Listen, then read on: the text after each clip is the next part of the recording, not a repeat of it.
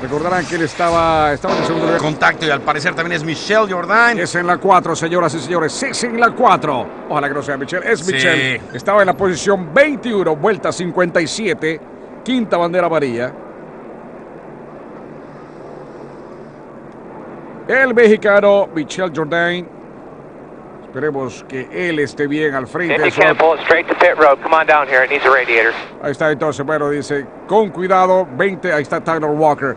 20 para Pitts, es el radiador que está dañado, toda la parte delantera. Vamos a ver. Michelle, máquina 10, parte derecha de su pantalla, lo pierde solo, lo golpean, sí o no. Sí. Habrá sido Walker. Sí, en la segunda Walker. ocasión sí lo golpea, pero no sé si originalmente cuando... No sé si lo pierde realmente. Me da la impresión, me da la impresión de que lo pierde solo, Mira un acá, poco suelto. acá. Yo creo que sí. Yo creo que lo perdió.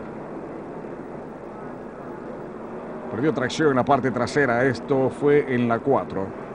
Y luego que llega a golpearlo, pues Tyler Walker. Velocidad normal. Este es Kevin Harvick. Oh, go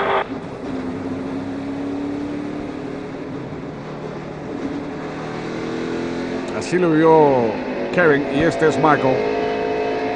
Lo pierde. Sí, pierde adherencia justamente.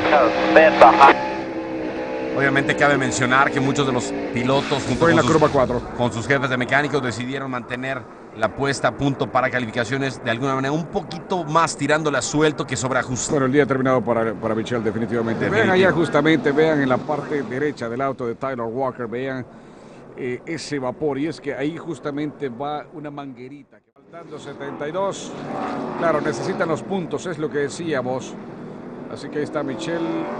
Nuevo récord.